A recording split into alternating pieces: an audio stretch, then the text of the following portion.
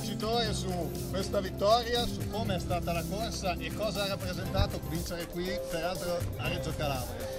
È stata una corsa davvero emozionante, è, stato, è iniziato davvero così fredda, ho piovuto tutto il giorno all'inizio, poi la salita lunga e tutte le discese si vedeva il mare, mi piaceva, poi quando eravamo qua avvicinato al finale volevo vincere perché oggi era il compleanno da Gianni e volevo farle qualcosa di bello a lui e è preciso, è arrivata la vittoria. Hanno vinto tanti campioni qui in passato come Coppi, Bartoli, Viviani, cosa provi a essere il prossimo?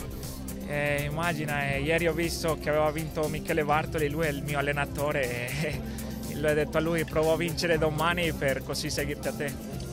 Deve andare purtroppo, deve andare all'aereo. Impressione su Reggio Calabria e su tutta la, la, provincia che hai girato? Sono stato al Giro d'Italia 2020 e mi è piaciuto anche quel giorno lì e poi oggi davvero che quest'ultima parte lì, tutta la discesa che si vedeva molto bene il mare. Grazie. Grazie, grazie a tutti. E niente, grazie. ringraziare a Gianni, alla squadra e poi a tutti gli sponsor che mi hanno fatto venire qua e niente, sono molto felice.